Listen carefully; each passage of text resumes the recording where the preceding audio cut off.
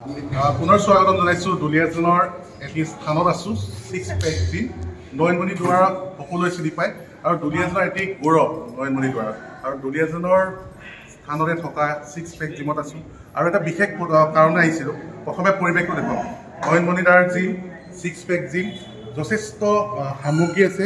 আহক দুলীয়াজনলৈ আহক। দুলীয়াজনৰ এটা বিশেষ স্থান ছিক্স পেক জিম বেছি পৰিৱেশটো দেখুৱাই আছোঁ। আৰু এই সমগ্ৰ পৰিৱেশটো চাই আছে। আচলতে বিশেষ কাৰণ অহা কাৰণ এটাই আছিলে যে দুলীয়াজনক ওঠৰটাকৈ সন্মান কৰি আনিবলৈ সক্ষম হৈছে। তেৰটাকৈ সোণৰ পদক কৰি আনিবলৈ সক্ষম হৈছে। এইগৰাকী খেলুৱৈ কিছু খেলুৱৈ বৰ্তমান ওলাই গৈছে। যিহেতুকে এতিয়া প্ৰেক্টিছৰ টাইম প্ৰেক্টিছৰ টাইম হোৱাৰ বাবে তেওঁলোকে ওলাই যাবলৈ লগীয়া হ'ল। আৰু যিহেতুকে তেওঁলোকে গ'ল্ড ব্ৰঞ্জ আৰু চিলভাৰ পাবলৈ সক্ষম তেৰটাকৈ গ'ল্ড দুটাকৈ চিলভাৰ তিনিটাকৈ ব্ৰঞ্জ ল'বলৈ সক্ষম হৈছে।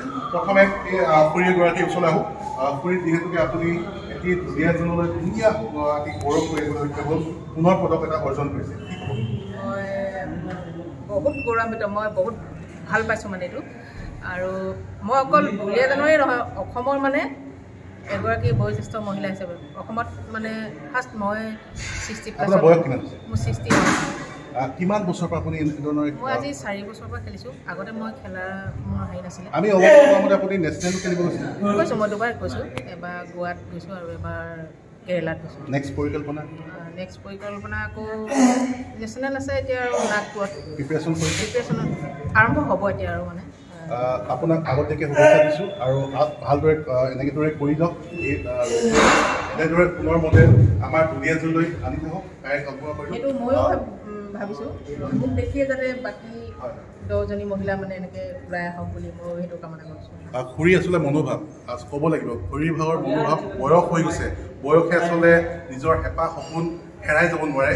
সেই কথা চেষ্টা কৰি আচলতে আনৰ বাবে আচলতে তেখেতে পৰামৰ্শ হওক পৰামৰ্শৰ কাৰণে চেষ্টা কৰিছে। বৌ আছে শৈলেন্দ্ৰ বৌ বিশেষ পৰিচয় দিব নালাগে যিহেতু চবেই চিনি পায়। আমাৰ সামাজিক শৈলেন্দ্ৰাৰ বৌ বৌ চলাইছোঁ। যিহেতুকে আপুনি পুনৰ পুনৰ মেডেল অৰ্জন কৰিবলৈ সক্ষম হ'ল কি ক'ব হয় বহুত ভাল লাগিছে। মই আগতেও খেলিছোঁ। এইবাৰ মই নগাঁৱত গ'ল্ড মেডেল পাইছোঁ আৰু বহুত ভাল লাগিছে। ইয়াৰ ক্ষেত্ৰত নয়নমণি দুৱাৰাই বহুত আমাক সহায় কৰিছে আৰু তেওঁক বহুত মানে ধন্যবাদ জনাব বিচাৰিছোঁ। আগন্তুক দিনত আকৌ এখন খেল আহি আছে। নাগপুৰত। আপোনালোকে যিহেতু এতিয়া প্ৰশিক্ষণ আৰম্ভ ষ্টাৰ্ট কৰিছে। অঁ ষ্টাৰ্ট কৰিছোঁ মই। কেনেধৰণৰ পৰিব মানে কেনেকুৱা ভাবিছে কেনেকৈ প্লেনিং কৰিছে এতিয়া? ন ষ্টেটত যিমান মাৰি আহিলোঁ তাত নেশ্যনেলত মানে তাতকৈ অলপ বেছিকৈ মাৰিম বুলি মই প্ৰিপেৰেশ্যন কৰিছোঁ মানে আশা কৰিছোঁ। কেইঘণ্টা প্ৰেক্টিছ কৰিব লগা আছে দুঘণ্টাকৈ প্ৰেক্টিছ কৰিছোঁ এতিয়া সদ্যহতে। খোৱা যতন কৰিব লগা আছে খোৱা যতন মাছ মাংস ভালে খাইছে? অঁ খাইছোঁ। ভালকৈ খাব? শক্তিশালী হওক আৰু এনেকৈয়ে পুনৰ লৈ যাওক আৰু এগৰাকী বাইদেউ আছে বাইদেউ চলাই বাইদেউ আপুনিও এটি অৰ্জন কৰিব ব্ৰঞ্জ ব্ৰঞ্জ যি পদ আচলতে অৰ্জন কৰিবলৈ সক্ষম হয় এগৰাকী বাইদেউ নগাঁৱত পুনৰ ক'বলৈ থাকি গ'ল। নগাঁৱত অনুষ্ঠিত হৈ যোৱা যি inter district power lifting championship আচলতে টু থাউজেণ্ড টুৱেণ্টি টু। তাত আচলতে অংশগ্ৰহণ কৰিছে ব্ৰঞ্জৰ মেডেল সংগ্ৰহ কৰিবলৈ সক্ষম হৈছে। আপোনাৰ কেনেকুৱা ধৰণৰ কেনেকুৱা ধৰণৰ? অনুভৱ ঠিক বুজাব পৰা নাই। মোৰ গুৰু নয়নমণি দুৱৰা তেখেতকে মই প্ৰথম ধন্যবাদ দিম। তেওঁৰ কাৰণে মই যাবলৈ পালোঁ একচুৱেলি তেওঁৰ উৎসাহতে। তেওঁ অকল মোৰ একচুৱেলি খেলা কোনো মানে ই নাছিলে ভাৱ মোক ভবা নাছিলোঁ খেলিম বুলি। এ, তে দাদাই ক'লে যাওক খেলাব যাওক পাৰিব আগবাঢ়ি যাওক দে মানে দাদাকে মই ধন্যবাদ দিছোঁ মোৰ ব্ৰঞ্জৰ প্ৰথম হোৱাৰ কাৰণে। আৰু সদায় তেওঁৰ মানে আশীৰ্বাদটো বিচাৰে। আশীৰ্বাদটো বিচাৰোঁ। আৰু মই এটা কথা ক'ব বিচাৰোঁ আজিৰ দিনত দেখিব পোৱা গৈছে মহিলাসকল প্ৰায় ঘৰত ঘৰৰ কামতে হয় গৃহিণী। হয় ময়ো আজি বহুত বছৰ ভিতৰতে সোমাই থাকিলোঁ যেতিয়া মই ওলাই আহিলোঁ জিমলৈ নিজৰ স্বাস্থ্যটো হৈছিল মই মই নিজৰ দেহাটো ভালকৈ বনাবলৈ আহিছিলোঁ। বহুত ৱেইট আছিলে মোৰ মই ৱেইট কমাবলৈহে আহিছিলোঁ খেলাৰ কোনো প্লেনিং নাছিলে। মই যিসকল মহিলাৰ ভিতৰত আছে সোমাই আছে সদায় মানে চাৰিবোৰৰ ভিতৰতে আছে তেওঁলোকক কওঁ চবেই ওলাই আহক।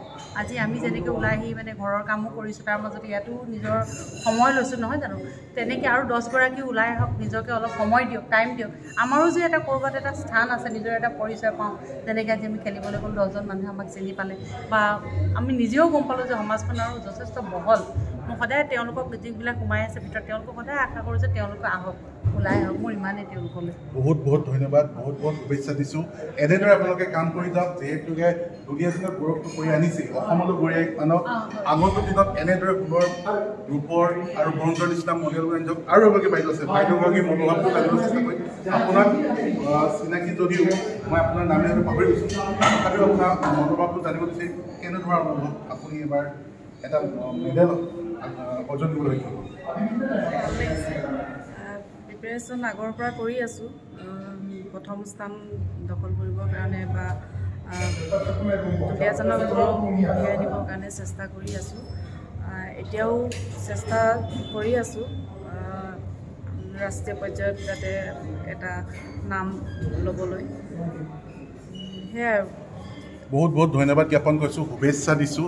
আৰু ক'ব লাগিব আচলতে এওঁলোকে অকল চাৰিগৰাকীয়ে নহয় ওঠৰগৰাকীক আচলতে তেওঁলোকে ইয়াত সোণৰ পদক বা ৰূপ পদক বা ব্ৰঞ্জ পদক ল'বলৈ সক্ষম হৈছিলে। কিন্তু সময় নাটনি তেওঁলোক আচলতে ব্যস্ততাৰ মাজত গুচি গ'ল প্ৰশিক্ষণৰ কাৰণে তেওঁলোকে আচলতে প্ৰশিক্ষণ চলি আছে আৰু আগন্তুক দিনত যি নাগপুৰত অনুষ্ঠিত হ'বলগীয়া যি প্ৰতিযোগিতা আৰু প্ৰতিযোগিতাৰ কাৰণে সম্পূৰ্ণ প্ৰিপেৰেশ্যন কৰিছে এনেদৰে আচলতে দুলীয়াজনলৈ সৰু তেওঁলোকৰ যি গৌৰৱ কঢ়িয়াই আনিবৰ কাৰণে সক্ষম হ'ব কাৰণে যি চেষ্টা আৰু এই চেষ্টা কৰিবৰ কাৰণে চেষ্টা চলাই আছে। আৰু আমি আশীৰ্বাদ কৰক তেওঁলোকক শক্তি দিয়ক এনেদৰে আচলতে যি বডি বিল্ডিঙৰ বা পাৱাৰ লিফ্টিঙৰ ক্ষেত্ৰতে হওক তেওঁলোকে অৰ্জন কৰি আচলতে দুলীয়াজনক বা অসমলৈ এনেদৰে গৌৰৱ কৰি গৌৰৱ- গৌৰৱ কৰি আনিবলৈ সক্ষম হওক। দুলীয়াজন সংবাদৰ দৰ্শক বা সকলো ৰাইজক আচলতে তেওঁলোকক আশীৰ্বাদ কৰক আশীৰ্বাদ কৰিবলৈ অনুৰোধ কৰিছোঁ কাৰণ তেওঁলোকক আপোনালোকৰ আশীৰ্বাদ প্ৰয়োজন আছে। আশীৰ্বাদ দিলেহে তেওঁলোকে আচলতে এনেদৰে আচলতে পদসমূহ বা যি মেডেলসমূহ আচলতে আয়োজন কৰিবলৈ সক্ষম হ'ব। আৰু আশীৰ্বাদ যেতিয়া আপোনালোকৰ থাকিব তেওঁলোকৰ তেতিয়া কোনো কাৰণতে আচলতে তেওঁলোকে বিফল হ'ব নোৱাৰে। আৰু আচলতে আশীৰ্বাদ থাকিলে আচলতে এটা কথা আছে যে আশীৰ্বাদ যদি থাকি যায় তেতিয়া তেওঁলোকৰ আচলতে কোনো ধৰণৰ কোনো কাৰণতে মানে আচলতে বিফল হ'বলগীয়া নহয়।